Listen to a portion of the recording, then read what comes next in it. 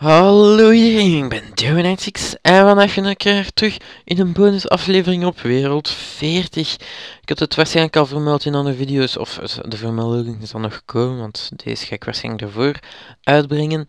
Maar ik zit dus ook op Wereld 40 en op Wereld 40 uh, zijn er heel veel premiumpunten te rapen. Dus waarom speel ik deze wereld? Gewoon voor de premiumpunten.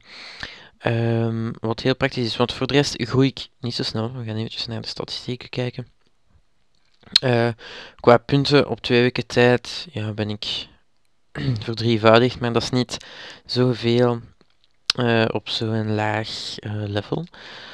maar daar gaan we het eigenlijk niet echt op over hebben. Het is wel het feit van, dat ik hier enorm veel premiumpunten kan halen. En dat is eigenlijk door mijn, ik ging mijn marktplaats omhoog zetten, door de marktplaats. Ik verkoop grondstoffen, er zijn waarschijnlijk onderweg. Ja, nee, ze zijn allemaal verkocht geweest.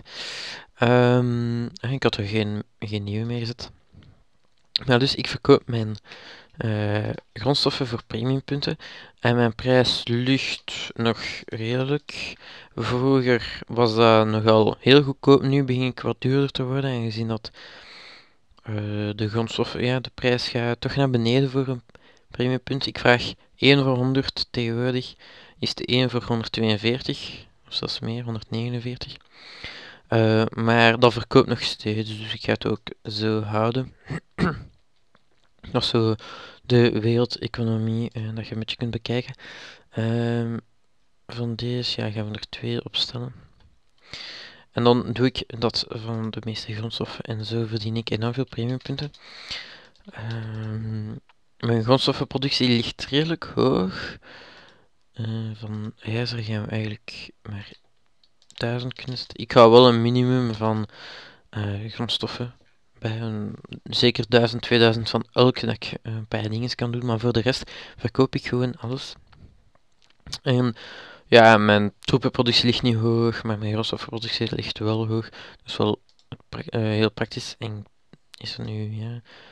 Ik probeer een beetje te farmen met mijn lichte cavalerie, dat werkt wel. Want ja, oké, dat is niet de prijs van als je er eentje verliest, is dat wel duur. Um, en hier bijna niet, spijtig genoeg. Um, we gaan er dus eentje extra moeten produceren, omdat er eentje is doodgegaan. Um, het is best dat er geen dood gaat, want een lichte cavalerie kost meer dan de buit ik heb. Um, voor de rest was er nog te zeggen, ja, ik zit in een stam, maar geen fantastische stam. Maar ik ben ook uh, stamoprichter blijkbaar. Wist ik ook niet. Er zijn veel inactieve. Het zijn zo'n dingen, dat maakt me niet zoveel uit. Ze zitten gewoon in mijn buurt, maar dat betekent niet zoveel.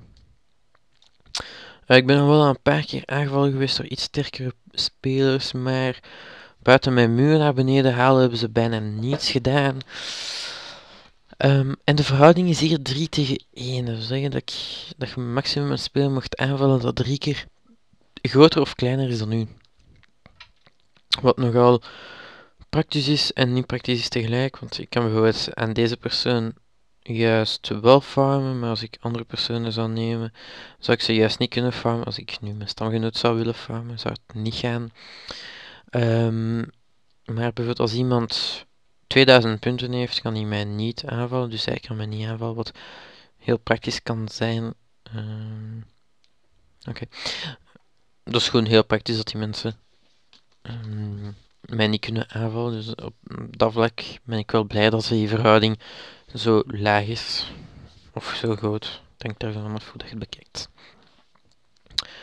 Um, en is er nog iets anders te vertellen? Nee, premiumpunten zijn zeker en vast welkom. Ik verkoop er steeds en uh, zo kun je heel veel geld verdienen bij manier van spreken in het spel zelf dan.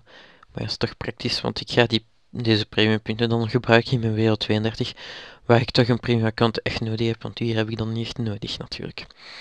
Ik ga je laten een kleine like of dat welkom en ik zie dan in uh, een andere video, misschien deze, ik weet niet wat ik nog ooit op deze wereld ga draaien, want zich is het niet zo boeiend om te weten dat ik premiumpunten verdien.